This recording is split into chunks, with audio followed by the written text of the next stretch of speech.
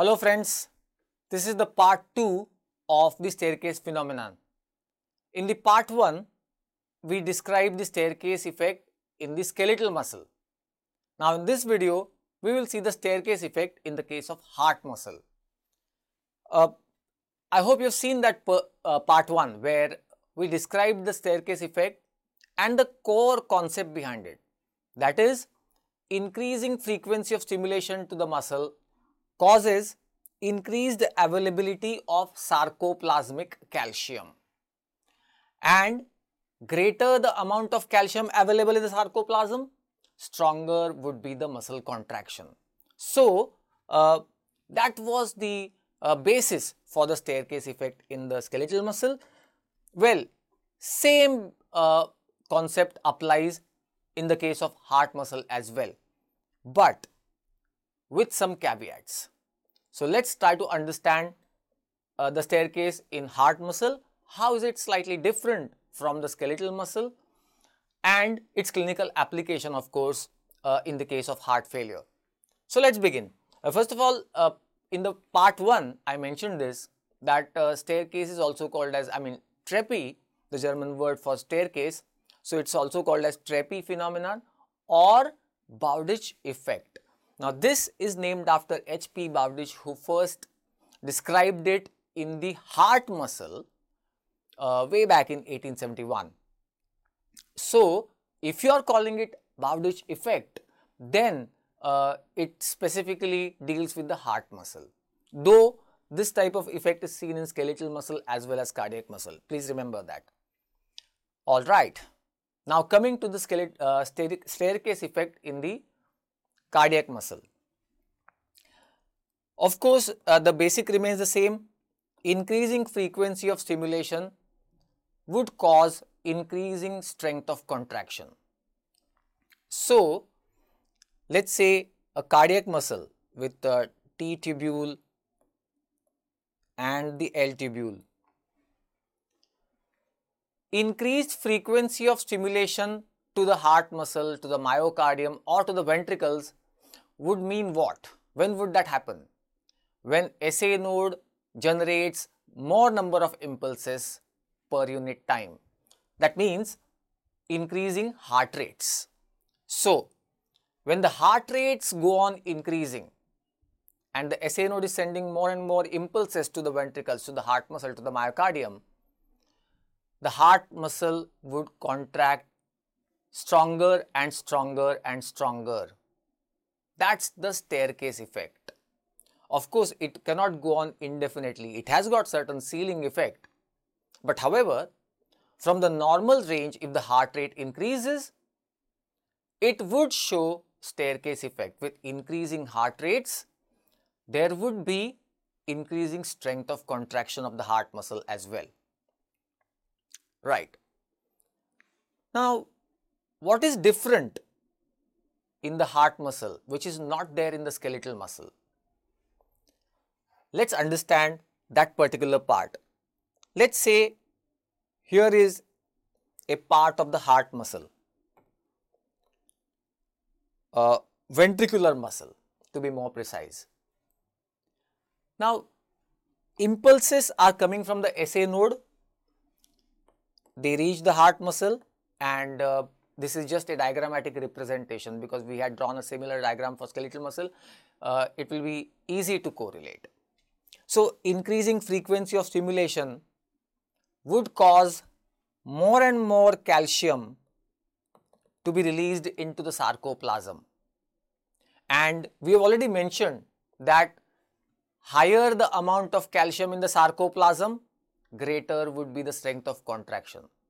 So, as the frequency of stimulation is increasing for the heart muscle, more and more calcium is being poured into the sarcoplasm and it would cause stronger and stronger and stronger contractions of the ventricular muscle fibers. That's staircase in the heart muscle. What is special, what is different, unique in the case of heart muscle? Look, as uh, elsewhere like as in any nerve or muscle, heart muscle also has sodium potassium pump. Let us draw diagrammatically the sodium potassium pump in the membrane of the heart muscle or heart muscle fiber. It has sodium potassium pump and it has an exchanger which is which is based on the functioning of sodium potassium pump. Which is that exchanger? The NCX, sodium calcium exchanger. So, this sodium calcium exchanger is a secondary active transporter and as you must be aware that all the secondary active transports are critically dependent on the functioning of sodium potassium pump. Well, you can refer to the general physiology videos where I have mentioned it in detail. Now, you are stimulating the heart muscle, calcium is pouring in into the sarcoplasm, into the cytosol of the muscle fiber and this calcium is initiating the contraction. As we have already mentioned that uh, the ionic or free calcium cannot be kept in the cytosol. Cytosolic calcium concentration should not ever increase beyond a certain level. It will be damaging uh, to the muscle. It will be damaging to any cell. So, uh, it could be muscle or it could be any other cell in the body. Cytosolic free calcium or ionic calcium sh uh, should be kept very, very low. So, this calcium which is coming in with increased frequency of stimulation, this calcium has to be sent out of the sarcoplasm, out of the cytosol. In the case of heart muscle, uh, first there is the protein that we call as SERCA S-E-R-C-A which is there in the skeletal muscle as well. Uh, so, this SERCA will remove this calcium from the sarcoplasm and will send it back to the L tubule. That is fine. That is similar to the skeletal muscle. But in addition, the heart muscle has this sodium calcium exchanger NCX alright. This sodium calcium exchanger is going to bring the sodium in and send the calcium out of the fiber. It will send the calcium out of the fiber. So, here there are two mechanisms that will send the calcium out of the cytosol or, or sarcoplasm so that the cytosolic calcium concentration does not rise and will be damaging to the, uh, to the cell. Well then, so second additional mechanism to send the calcium out of the sarcoplasm that is NCX. Now consider this increasing frequency of stimulation to the heart muscle. Therefore, more and more calcium is coming in from its storage side site inside the muscle. The calcium will be poured into the sarcoplasm and this calcium is causing stronger and stronger muscle contraction. I mean calcium level is increasing, it is causing stronger and stronger muscle contraction. Muscle means cardiac muscle. And then it has to be sent out, it has to be sent back. So, we have SERCA and we have NCX. As I mentioned NCA, NCX it causes sodium to be brought in and calcium to be sent out of the cells, sent out of the fiber. Now, when the frequency of stimulation in the heart muscle increases, that means increase heart rate. Uh, what happens is the sodium potassium pump in the membrane of the ventricular muscle fibers, it's not able to keep keep up with the pace of that increasing frequency of stimulation. You know, uh, if you can recall from the nerve or the skeletal muscle, sodium potassium pump has to be active after every excitation of the excitable tissue. So is the case here. But what happens is with increased heart rate and increasing frequency of stimulation, sodium potassium pump is unable to keep up pace with that with that increased frequency and therefore NCX is also not that very effective in removing the calcium from the sarcoplasm. It will do it, it will perform its function, but not that effectively and therefore balance is slightly tilted in the favor of SERCA to remove the calcium from the sarcoplasm. If some of you have not understood this, let me just uh, reiterate that in the case of cardiac muscle, we have two mechanisms that can remove the calcium from the sarcoplasm so that sarcoplasmic calcium level does not rise too much. We have two uh, pumps or we have two rather uh, transporters which remove the calcium from the sarcoplasm. One is SERCA which is uh, there in, even in the skeletal muscle and the other one is NCX. In a normal heart, now let's understand after beyond this point, let's understand the clinical application, uh, what happens in the heart failure. So let's first understand what is happening in a normal heart. In the normal heart, whenever the heart rate increases, means there is increased frequency of stimulation to the muscle, to the ventricular muscle. Sodium potassium pump in the membrane of the heart muscle is unable to keep uh, keep up with that pace, pace of stimulation. And therefore, NCX also is not able to keep uh, uh, keep along with that pace. So, what happens is in a normal heart, uh, the balance is tilted in the favor of SERCA. Look, calcium was going to be removed out of the sarcoplasm by two mechanisms. But in a normal heart, one of them is stronger and therefore calcium will be removed mainly by the SERCA, the calcium ATPase. But mind you, SERCA was removing the calcium from the sarcoplasm and where was that calcium sent? That calcium was sent back into the L tubule means inside the muscle. Whereas whenever NCX is going to be active, NCX, the sodium calcium exchanger, is going to send the calcium out of the cell, out of the fiber. Right? Now, in the normal heart, SERCA is more effective in removing the calcium.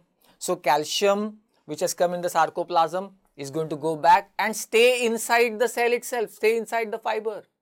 So, whenever required, it can again come back. It can again produce contraction and a stronger contraction if required. So, that is possible in a normal heart. Now, let us see what happens in the condition of heart failure. First of all, a failing heart or a heart failure condition does not show staircase effect.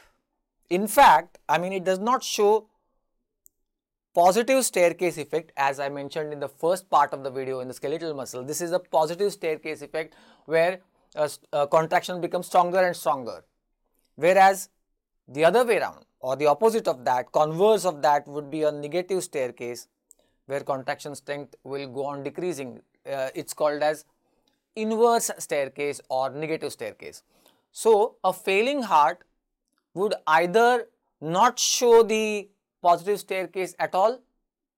So, there is no staircase, no increased strength of contraction and in fact, it may also show, it may also exhibit negative staircase or inverse staircase.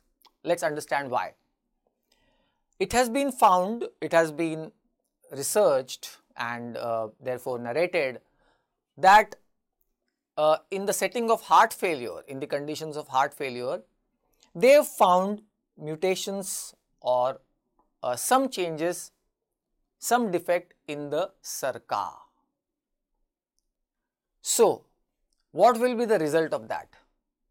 Normally, a normal heart would have uh, pumped the calcium out of the sarcoplasm, but back to the L tubule means back inside the cell itself. The calcium would be stored inside the cell, but not in the cytosol, inside the L tubule. Remember we said cytosolic calcium concentration should be always always kept low. So, it can be stored in the tubules that is fine.